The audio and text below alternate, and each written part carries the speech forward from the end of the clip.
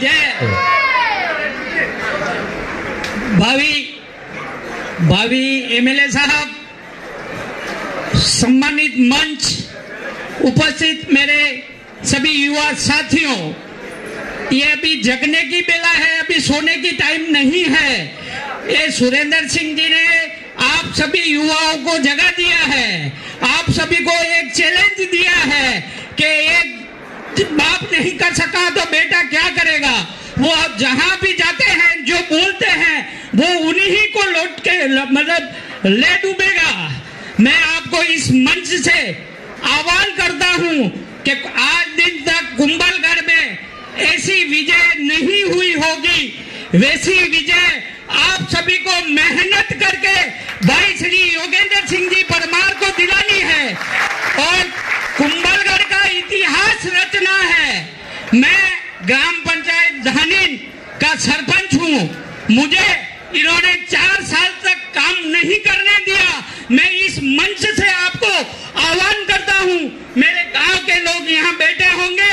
मैं 2012 में एक बामाशाह के रूप में राजसमंद ज़िले में प्रथम आया था उस टाइम मैंने मेरे गाँव के विकास के लिए सात से आठ करोड़ रुपया खर्चा किया था आज आज ये जो एमएलए सुरेंद्र सिंह जी हैं जो हमने एक 2022 में एक प्रशासन गाँव के संग अभियान हुआ था, उस अभियान में आए थे। उनके कुछ तथाकथित लोग साथ में थे। उन्होंने ऐसा कह दिया कि सेठ जी ने अगर दानिन में स्कूल बना दी तो क्या हो गया? हम उनको पैसा दे देते हैं। मैं इस मंच से उस सुरेंद्र सिंह जी को चैलेंज करता हूँ कि तेरी माँ का दूध पिया है तो हमें अभी भी वो पैसा लौटा दे हम हम जोली मार के बैठे हैं आप वो स्कूल के पैसे दोगे तो हम हमारी पंचायत में एक हॉस्पिटल का निर्माण करेंगे और मैं मेरे परिवार की तरफ़ से और 25 लाख रुपया उसमें दूँगा आप में अगर हिम्मत है तो वो पैसा देने की कृपा कराए और यथाशीघ्र मैं मेरे माताजी और पिताजी के नाम से वही पैसे में हॉस्पिटल और 25 लाख रुपया मैं मेरे परिवार की तरफ़ से और दूँगा।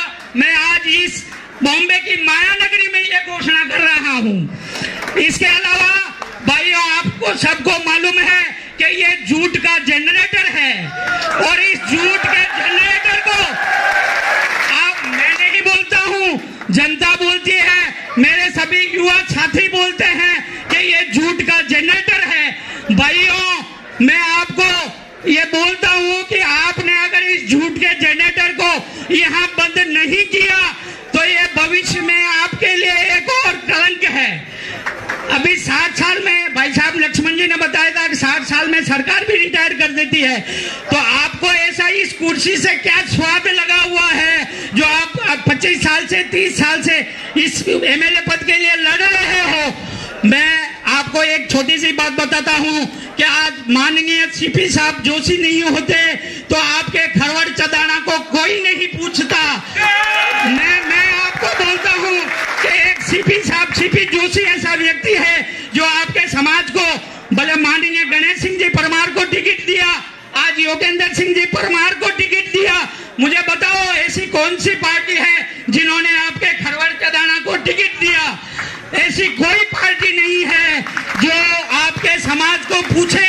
मैं आपको इसके लिए बोल रहा हूँ कि आप इन भाई श्री योगेंद्र जी परमार को ज़्यादा से ज़्यादा मतों से विजय बना के भेजोगे तो आपका डंका जयपुर नहीं, पूरे भारत में बजेगा। नहीं तो आपको यही इनाम देना पड़ेगा। इनकी जीत निश्चित है। जीत को कोई रोक नहीं सकता। लेकिन ज़्यादा से ज़्यादा मतों से इनको विजय करके भेजोगे तो मैं आपको बत, मैं आपको ये आश्वासन देता हूँ कि ये राजस्थान सरकार में अशोक जी गहलोत को इनको मंत्री बनाना पड़ेगा। ये आप सभी युवाओं की धड़कन है। आप सभी युवा आगे आओ और भाई श्री योगेंद्र जी के लिए आप दो दिन का समय दो। भाई योगेंद्र जी, आपको पाँच साल का समय देंगे। इसी आशा और विश्वास के साथ मैं सभी से नम्र निवेदन करता हूँ कि आप अपने गाँव में 20 तारीख पहुंचो 22 पहुंचो 23 पहुंचो, लेकिन 25 तारीख के दो दिन पहले आपको पहुँचना है।